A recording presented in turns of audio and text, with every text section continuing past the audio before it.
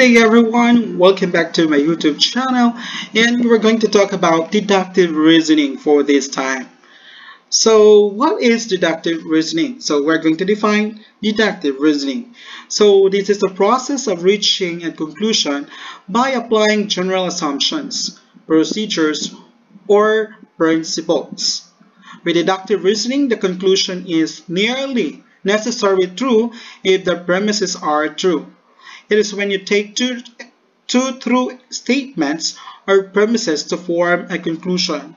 So take note most of the time that we have seen all about deductive reasoning, we, it follows syllogism or transitive property that states that A implies B, C implies A, then B is implies C. Or shall we say transitive, A is equal to B, C is equal to A, then B is equal to C. So take note of this part. We'll be, make, we'll be using this one as we are going to talk about deductive reasoning. So take note deductive reasoning is associated in a funnel. So we have here from general to specific, that is deductive reasoning. So by the examples applying their uh, reaching the conclusion by applying general assumptions, procedures, two specific examples. That is what we call as deductive reasoning. Again, so one part of deductive reasoning that I presented in the video in this channel is all about elimination grid or the logic puzzle that I had give to you last time. So that's all about elimination grid that is part of deductive reasoning. So let's have example. Use deductive reasoning to show that the following procedure produces a number that is 3 times the original number. In this case, we have the principle now that the number is 3 times the original number. We have already the conclusion in this procedure that we could come up that the number is 3 times the original number. So by this procedure, let us first solve. So Pick a number, so let us have first letter n as our number. Multiply it by 6, so that is 6n. Add it by 10 to the product and divide it by 2 minus 5. So we have here, this will become 3n plus 5 minus 5. So therefore the remaining is 3n. So we could say that from n, it becomes 3n. So the number is 3 times the original number. So by this procedure, we could say that by this procedure, we could say that n is equal, the original number is 3 times. So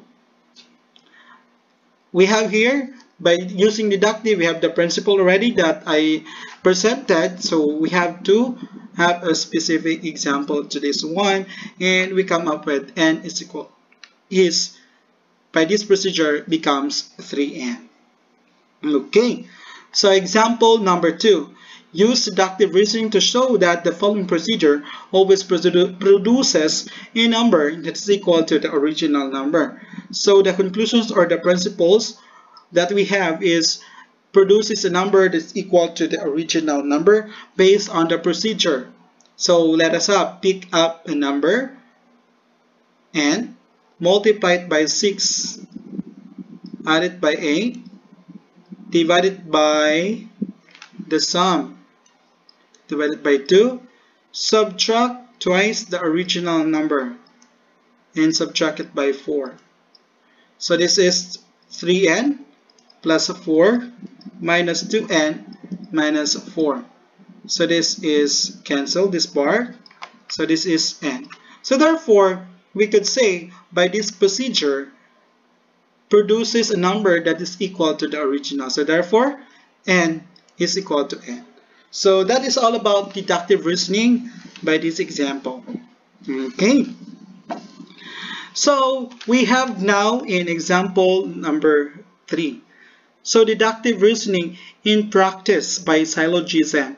A implies B, C implies A, then B implies C. So take note, we have here the syllogism that would help you to determine whether that one is inductive or not.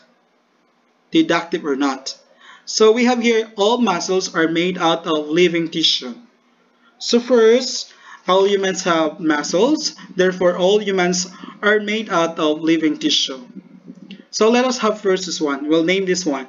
All muscles, A, this is our A, are made out of living tissues. This is our B, this is our premise. Next, we have all humans, all humans, letter we have here C. When talk about muscles, that is our A. So therefore, all humans, which is C, are made out of living tissue, which is B. So we have now the syllogism here. So A to B, C to A, and C to B. That implies. Next, all cats have keen sense of smell. So all cats letter A, we have here A. Sense of smell, we have B. And Fluffy is a cat. We have C and the cat is A. So Fluffy has a keen sense of sense of smell. So Fluffy is C to B. Alright. So that's all about this part. And we have here red meat has an iron in it and beef is a red meat. Therefore, beef has an iron in it. So red meat. So A has an iron in it. B, beef is a red meat. C, and this is our A. So there are beef, which is C, implies iron in it, B. Okay, so next, that's all about syllogism. For all numbers ending in 0 or 5, so this is our A, divisible by 5, which is B. The number 35, which is our C, ends with 5, which is our A. So it must be, so the number 8, 35, C, 8 means 8, that is 35, divisible by 5. So letter R, B. So again, deductive reasoning in practice by syllogism. It follows A is equal to B and C is equal to A, then C is then B is equal to C. So that's all about deductive reasoning in practice. So let's have for next we have think of it. All musical instruments make sound, sounds. Airplanes make sounds. Therefore, airplanes are musical instruments. So in this case, we have here the premises are valid. All musical instruments are make sounds, yes. Airplanes, so we have here A. And this is make sounds B. So this is our C and this is our B. And airplanes is C and musical instrument which is A. So therefore, we could say that C is equal to A because it cannot be because they have a different entities so musical instruments, the airplanes and musical instruments are in different entities. So therefore, in this case, this is invalid deductive reasoning. Okay, so this is invalid deductive reasoning. So all musical instruments make sound. Of course, airplanes cannot be a musical instrument. So therefore, this is an invalid instrument. But the two premises are could be true because all musical instruments make sounds. Airplanes make sounds. Therefore, airplanes are not musical instruments.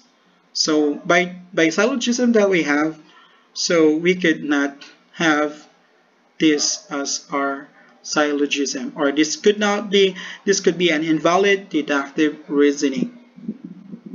So C to A. Okay so try this. Use deductive reasoning to show the following procedure always produces the number 5 procedure pick up a number add 4 to the number and multiply the sum by 3 subtract 7 and then decrease it decrease this difference by the triple of the original number so that's all about try this. Thank you so much for uh, gracing this uh, YouTube channel and I hope everyone you learned something today and please don't forget to subscribe. Thank you and God bless and that's all about deductive reasoning.